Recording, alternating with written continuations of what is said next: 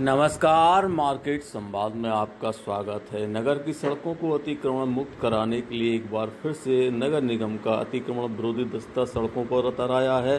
आज दस्ते ने आशिक चौराहे पर कई सारी दुकानदारों के चालान किए। अतिक्रमण को सड़क मुक्त रखाने के लिए जो किए जा रहे प्रयास के तहत फ़िलहाल सचल दल ने यह कार्रवाई की है।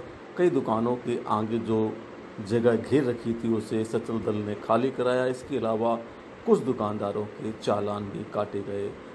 अधिकारियों का कहना है कि अतिक्रमण के खिलाफ यह अभियान जारी रहेगा। उन्होंने लोगों से अपील की कि सड़क पर कृपया अतिक्रमण न करें, वरना आपके खिलाफ भी इस प्रकार की कार्रवाई की जाएगी। मार्केट संवाद के लिए मनोज दुबे की रिपोर्ट झांसी।